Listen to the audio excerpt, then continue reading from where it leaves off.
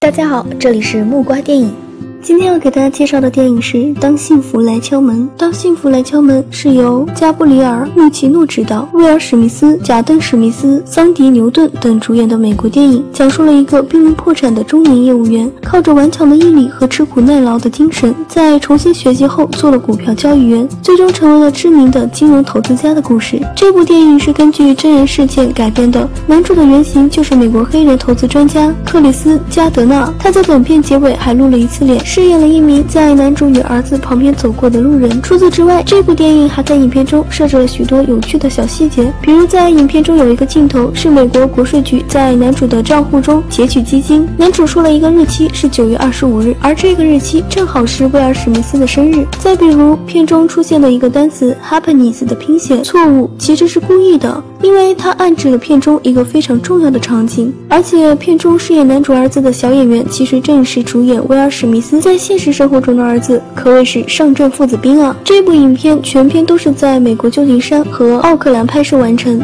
当时因为取景拍摄的原因，不得不暂时性封闭了部分街道，引起了当地许多商户的不满。这部电影一经上映就获得了多方的关注和赞扬，还获得了多个奖项的提名：奥斯卡金像奖的最佳男主角提名，金球奖。的剧情类最佳男主角提名，意大利大卫奖最佳外国电影提名，青少年选择奖最佳突破电影男星提名等。除此之外，这部影片也获得了许多奖项：MTV 电影奖最佳原创歌曲和最具突破性表演奖，青少年选择奖最佳剧情电影和最佳剧情男演员等。这部电影没有华丽的特效，没有深沉的乐曲，甚至很少有光鲜亮丽的场景，但正是这个朴质又简单的故事打动了无数的人，因为他将那份。深沉的父子情刻画的淋漓尽致，也告诉了我们一个很简单的道理：遇到了困难，要咬咬牙坚持下去，幸福终将会靠近你。电影中有这样一句话：当你认为最困难的时候，其实就是你最接近成功的时候。愿大家能够共勉。好了，本期的内容就是这些，我们下一期再见。